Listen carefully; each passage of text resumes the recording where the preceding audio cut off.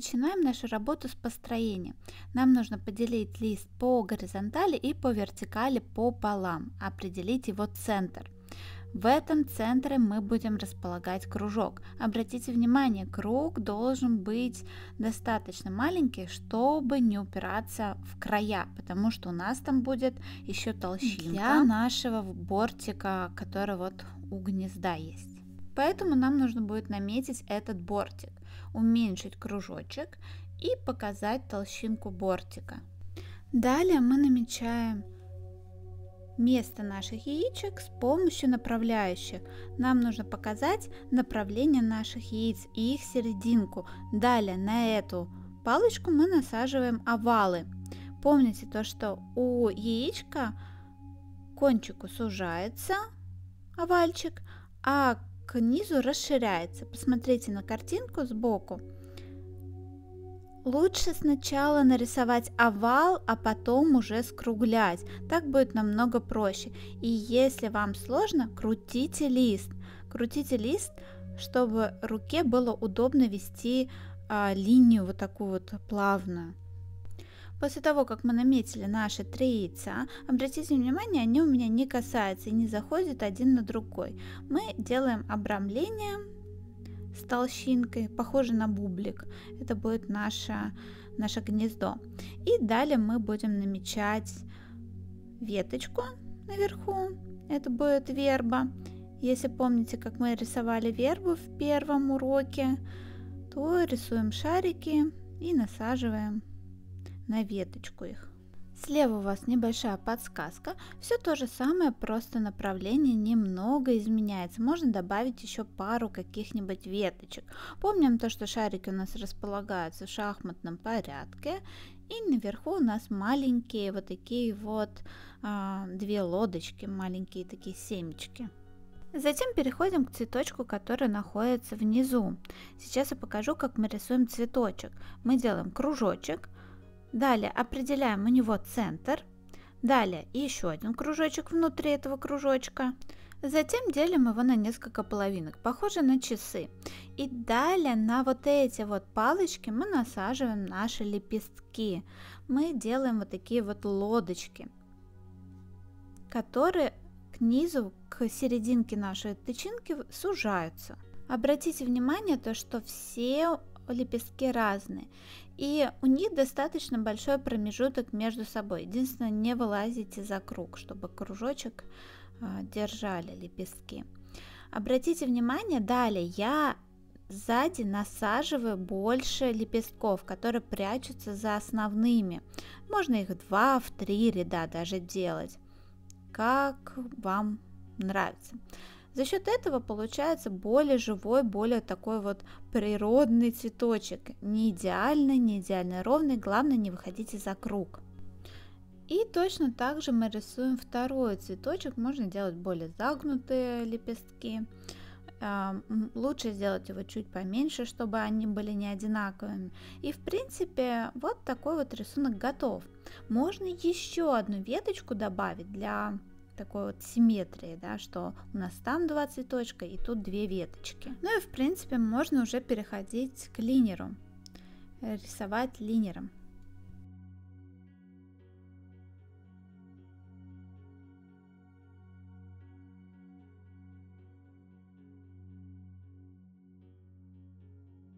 Начинаем обводить цветочков Обратите внимание, слева я показываю, как я обвожу цветочки.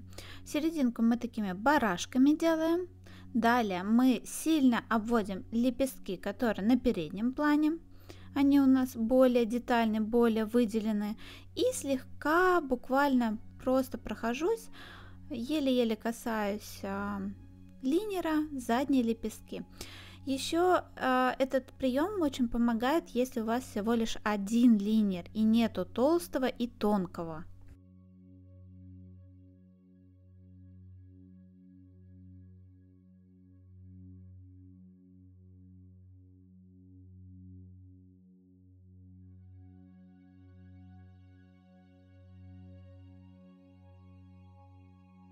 Ну и конечно же добавляем нашим цветочкам штриховку. Кстати, вот эти вот линии, которые мы рисовали, на которые насаживали лепестки, нам помогают тоже выбрать направление. Слишком много штриховки делать не нужно.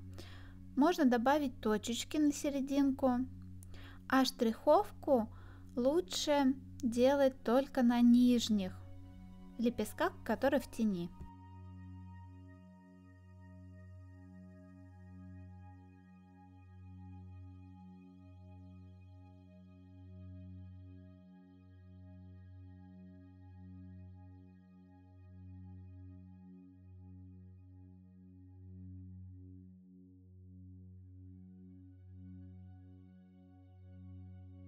Второй цветочек точно такой же, как и первый. Далее мы переходим к вербе, как только закончили с а, вот этими цветочками. Вербу мы рисуем точно так же, как и в первом уроке. То есть вот эти вот пушистые штучки мы рисуем палочками. Лепестки мы просто обводим.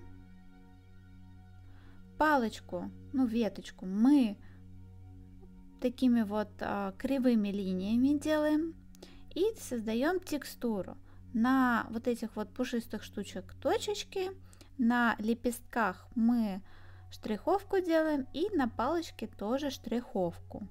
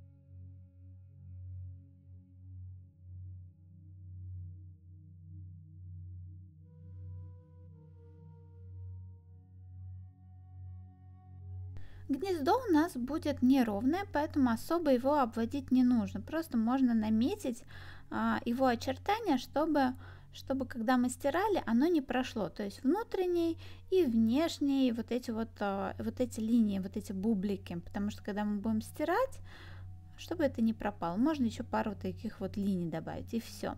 Теперь переходим к яйцам. Яйца довольно-таки сложно обводить. За один прием вы ровно не обведете такие круглые вещи. Для этого нужна хорошо поставленная рука, годы практики. Для этого, во-первых, советую не обводить полностью, а лишь проводить несколько линий, в которых вы точно уверены. То есть мы проводим линию, которая прерывается. Обратите внимание, и смотрите, я еще вращаю лист для того, чтобы мне было удобнее все это нарисовать. А далее мы уже будем подправлять, то есть далее мы уже будем наращивать вот эту вот линию, делать ее более толще. Если мы где-то ошиблись, ничего страшного, мы можем утолщить, а если мы где-то провели слишком а, лишнюю линию, то можем наоборот белой гелевой ручкой все это сделать. Теперь я все удаляю формопластом, лишний карандаш, и буду смотреть, что можно доделать нужно посмотреть, что мы имеем. Вот видите, я провела неровную линию, но это ничего страшного, потому что сейчас мы будем корректировать это все. Если у вас есть линер толстый, берите его сразу, потому что мы сейчас будем очень много штриховать. Гнездо мы рисуем вот такими вот палочками, как будто веночек у нас идет. Палочки у нас в разные стороны, но лучше их рисовать по кругу. Какие-то могут вылезать, какие-то будут э, просто идти в другую сторону, но все-таки форму нужно сохранять. То есть большинство палочек идет по форме, но какие-то будут вылезать. И рисуем вот так вот их много-много-много. Далее будем внутренние палочки рисовать. Там у нас очень темно, поэтому мы смело можем обводить яйца, делать их более темными Заодно можно скорректировать После того, форму. как мы уже определились с формой, что вот она нас устраивает, мы будем полностью там закрашивать. Но мы не сплошную закрашиваем, а оставляя такие пробелы, потому что мы там все-таки будем добавлять цвет.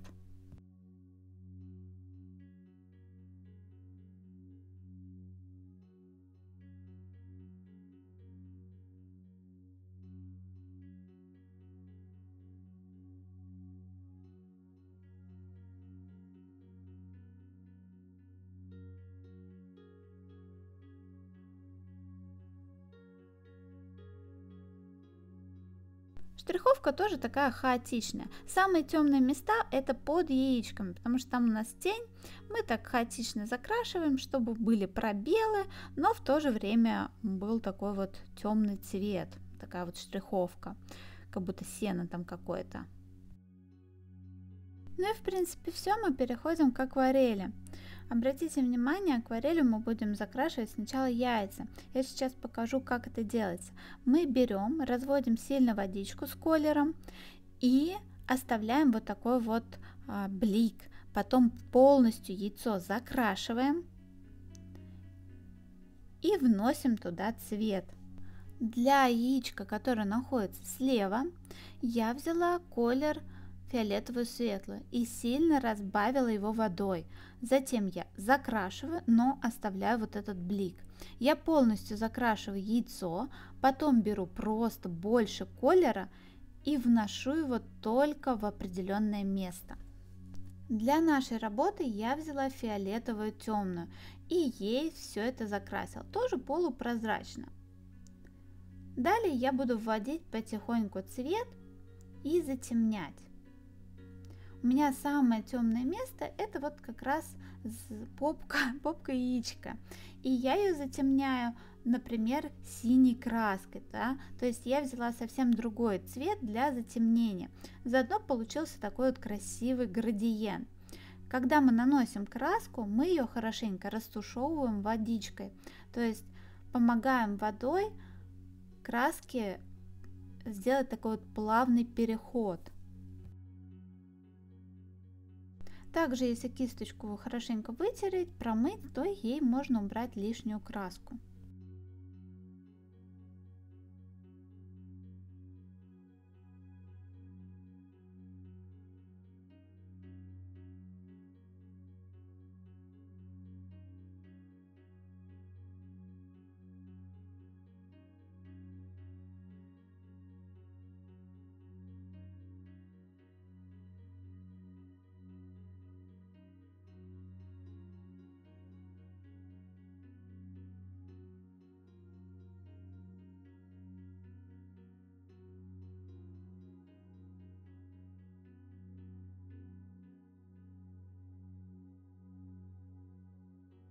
Для второго яйца можно взять как крапла красные, как фиолетовую светлую или карминовую.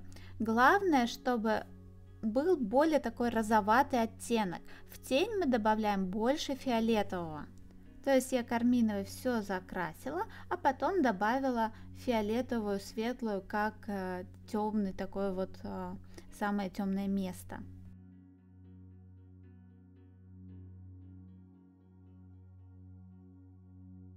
Для третьего яичка я взяла желтую, но можно ее, например, смешать с какой-нибудь охрой золотистой, чтобы получился такой немного оранжевый. А в тень я добавила английскую красную. Я ее смешала с желтой, чтобы не сильно отличалась. Ну и в принципе любой какой-то бежевый нам подойдет. Можно даже оранжевый внести. Вообще фиолетовый э, и желтый и оранжевый очень красивое сочетание вспоминаем цветовой круг. Если вы не очень разбираетесь, у меня в клубе здесь есть а, такие упражнения и есть такой урок про цветовой круг. Но оставляем яички в покое, даем им немножко подсохнуть и начинаем заполнять наш, наше гнездо. Самое темное место это, конечно же, под ними.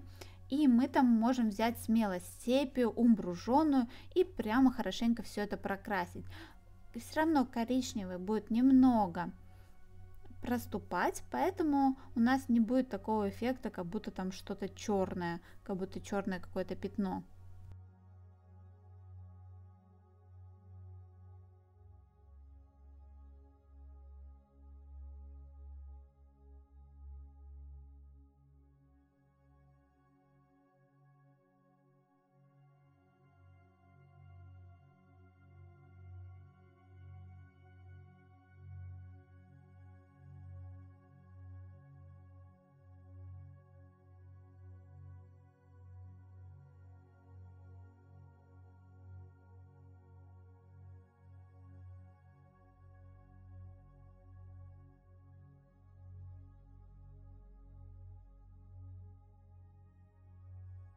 Для гнезда я использую разные оттенки бежевого.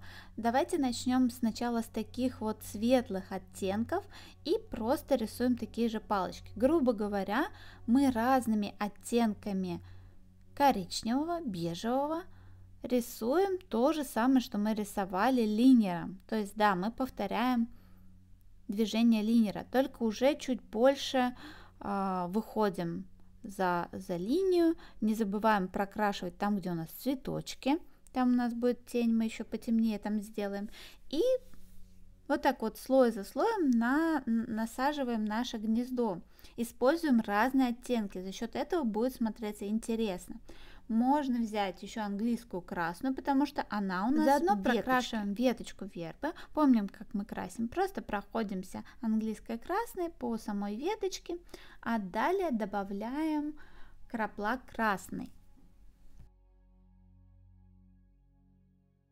Слева еще раз небольшое напоминание, как мы рисуем нашу веточку герба.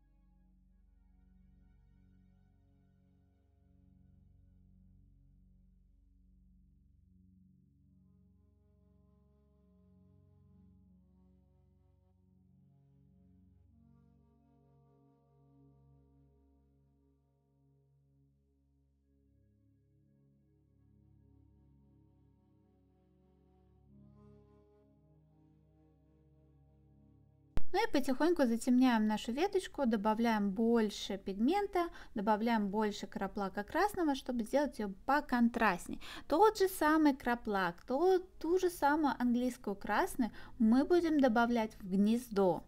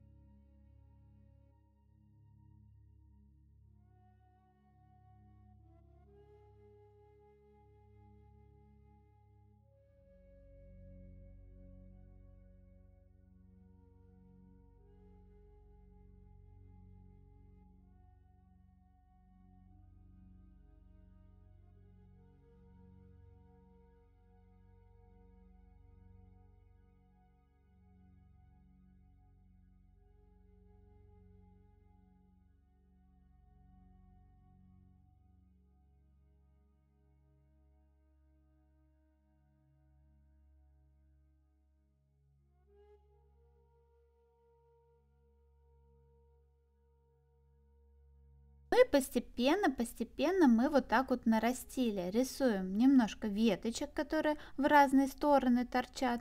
И также мы берем уже более темную краску. Уже берем умбруженую, сепию. и уже более контрастно рисуем всякие вот эти вот веточки, которые выпирают в разные стороны и прокрашиваем тени за нашими вот этими вот э, цветочками, яичками и отделяем вербу.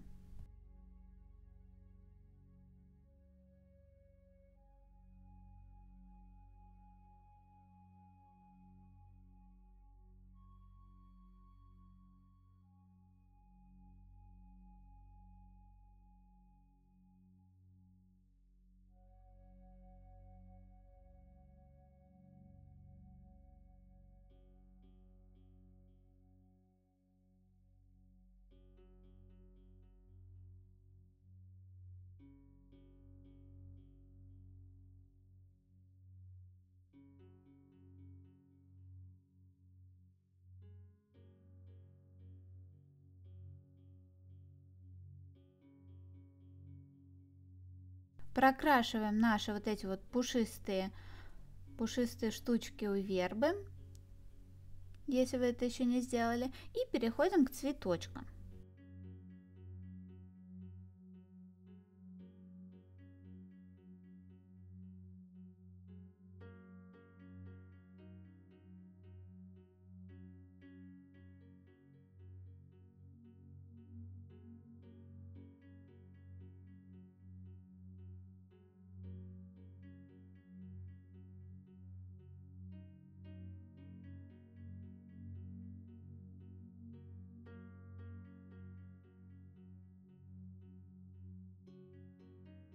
Давайте один цветочек сделаем более холодный, а другой более теплый. Для этого мы будем использовать фиолетовую светлую, а в другую карминовый. И просто в один цветочек мы будем добавлять больше фиолетовой светлой, она у нас как основа, а во второй цветок больше карминовый, но при этом и в первом, и во втором цветочке у нас будет присутствовать и тот, и другой цвет. Серединку мы закрашиваем желтый средний и просто добавляем пару точек оранжевый. Вот в тычинке добавляем пару точек и все. В тень мы будем добавлять другие цвета. Вот смотрите, мы, например, а, нарисовали основным цветом, сделали фиолетовый светлый, то есть фиолетовым таким цветом. А второй цветок полностью сделаем карминовым. Мы вот так вот его небрежно закрашиваем, а потом будем добавлять чуть больше пигмента других цветов. То есть у розовенького цветочка будет цвета фиолетового, а у фиолетового будут розовые. За счет этого они будут так вот перекликаться один с другим.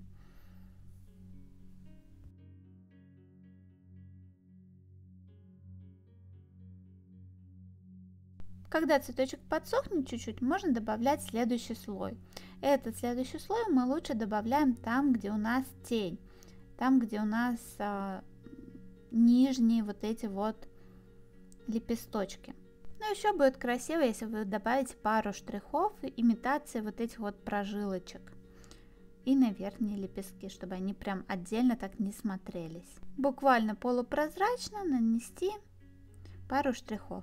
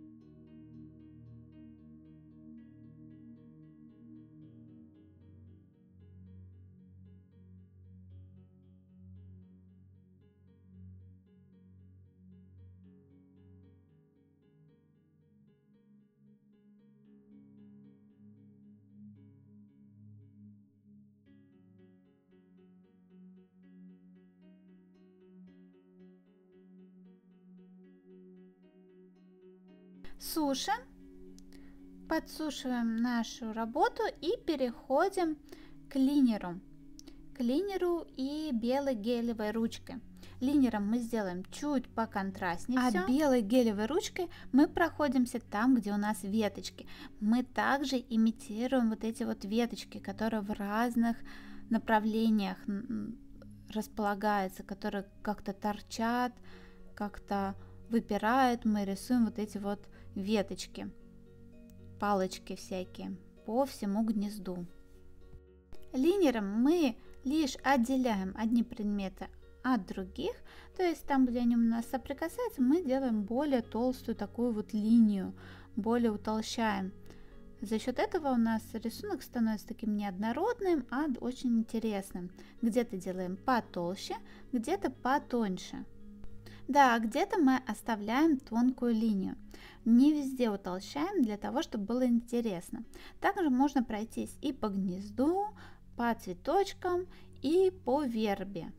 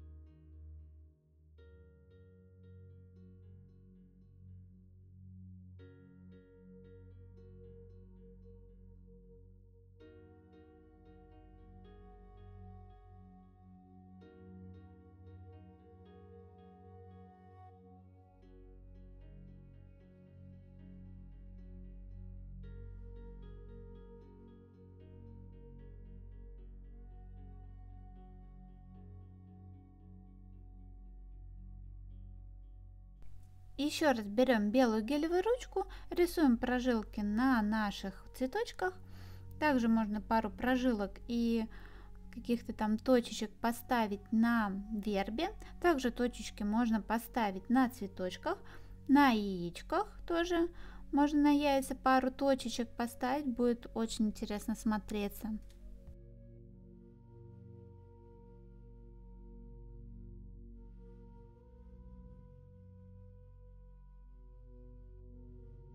Но также можно скорректировать форму яиц, добавить пару точек, бликов и будет интереснее намного смотреться. Чуть-чуть добавить рефлекса у яичек, потому что есть такая штука, как рефлекс. Ее никто не отменял. И в принципе скорректировать чуть-чуть форму. И готово. Осталось только добавить пару брызг.